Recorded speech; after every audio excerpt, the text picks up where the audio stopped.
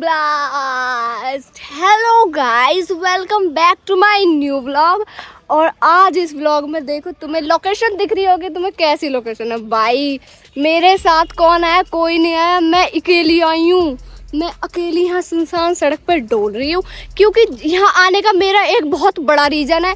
Reason क्या है? वो रीज़न आपको एंड तक वीडियो वॉच करनी पड़ेगी, और वीडियो वॉच करोगे नहीं तो कैसे पता चलेगा कि मोनिका अकेली सुनसान क्यों डोल रही है और क्या रीज़न हो सकता है? तो गाइज़ क्या काम करना है? एंड तक वीडियो वॉच करने। भाई, बहुत ज़्यादा मज़ेदार व्लॉग होने वाला है। क्या रीज़न है मोनिका? ऐसे क्यों डोल रही है सुनसान जगह पे? वो रीज़न अभी पता चल जाएगा आप लोगों को।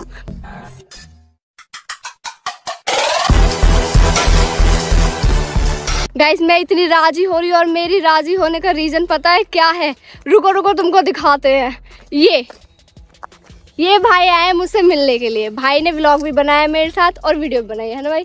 आप कहाँ से आए हो? ये बुलंदशहर से आए वैसे ये बुलंदशहर से आए इतनी दूर से मुझसे मिलने के लिए। लग रही हाथ कहाँ पर है? खड़ा हाँ मेरे हाथों में छाले पड़ रहे ठंड के मारे। कैसे मतलब कि दिमाग में क्या आया हाँ जी हम मोनिका शर्मा से ही मिलने जाएँगे। ऐसा ही क्या? मिलना था मतलब कि आपका भिचंड दो सबसे बढ़िया पसंद है। भाई जो मेरा भिचंड है ना जो मेरा भिचंड है ना वो दो लोगों को इतना पसंद आता है इतना पसंद आया मेरा भिचंड इनको बुलंद कहाँ से। आप? बुलंदशहर से हाँ। बुलंद शहर से खींच लाया हमसे मिलने के लिए। मेरा भिचंड मेरे मतलब मेरे कमेंट बॉक्स में ये आता है भाई मोनिका शर्मा से मिलकर वो बहुत तगड़ी वीडियो बनाती है और उनको भिचंड दो दुनिया भर को पसंद आ रहा है सबको।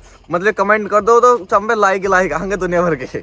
हाँ वो तो तुम जानते ही हो मोनिका तुम्हारी प्यारी मोनिका कितना तगड़ा भिचंड बचावे है। कैसे बैठे हो?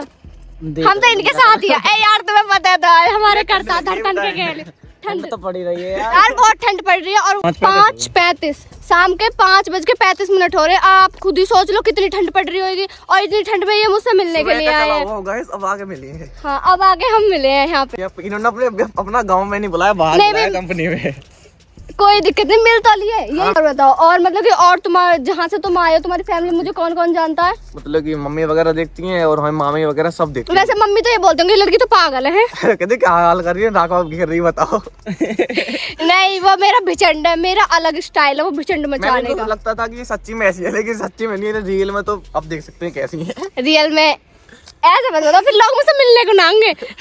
है ना भाई? भैया तो मैं सच्चाई बताने से लग रहे हैं ना। पागल है। आई एम क्रेजी गर्ल अरे ना तुम जब तुम जब आओगे ना मुझसे मिलने के लिए वैसे तो मैंने अभी किसी को अपना एड्रेस नहीं बता रखा।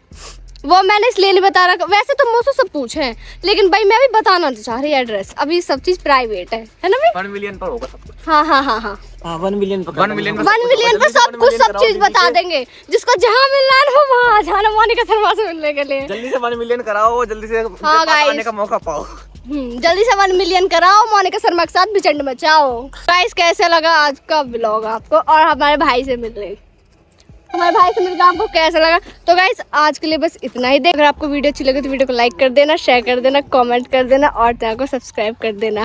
तुम भी आओ मुझसे मिलने के लिए, ठीक है? मैं तुम्हारे साथ भी ब्लॉग बनाऊँगी। जो भी कोई मुझसे मिलने आया मैं आपके साथ ब्लॉग बनाऊँगी ना हम्म, बिल्कुल। तो तुम भी आओ और मेरे साथ भिचंड मचाओ और जिसे बनाओ। ना जो पास पास को ना लोग जो जो पास पास के लोग है ना वो युवराज शर्मा अठहत्तर तैतीस वाली आईडी पे एक मिनट एक मिनट। ठीक है। वरना मेरे फॉलोवर्स फॉलोइंग में जाके इनकी आईडी मिल जाएगी आप इनसे डीएम कर सकते हो और मेरे बारे में जितनी भी जानकारी लेने ना आप इनसे ले सकते हो। ये आपको फुल जानकारी दे देंगे एड्रेस वेड्रेस जो भी कुछ टोटल ठीक है? जिसको मिलना है वो इन एड्रेस रिव्यू ना करेंगे लेकिन तुम्हें हाँ लेकिन करोगे तो तुम्हें हम अपनी जगह बता देंगे बुला लेंगे कोई दिक्कत ना पर्सनल मैसेज करना पड़ेगा लेकिन डीएम करना पड़ेगा। Okay guys